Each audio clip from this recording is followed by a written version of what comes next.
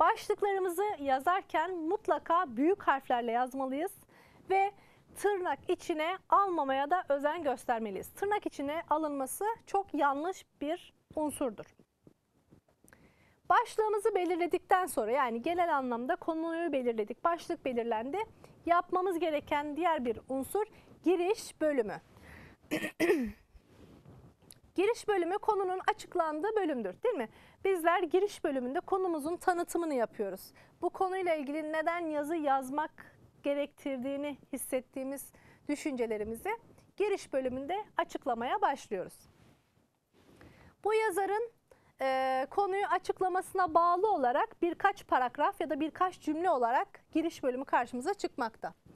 Giriş bölümü yazının okunması için veyahut da ilgi çekebilmesi için en önemli ve en büyük özelliğe sahip olan bölümdür.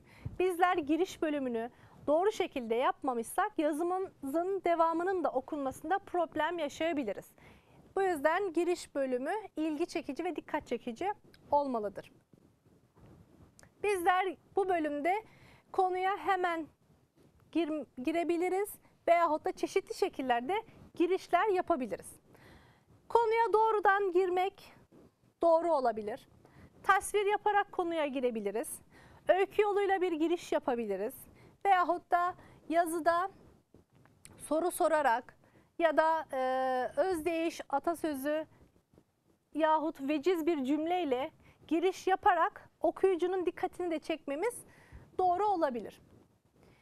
Giriş bölümünün doğru şekilde yapıldıktan sonra gelişme bölümüne geldiğimiz zaman ise gelişme bölümü aslında yazının omurgasıdır. Çünkü anlatmak istediğimiz bütün durumları giriş gelişme bölümünde özür diliyorum gelişme bölümünde veriyoruz.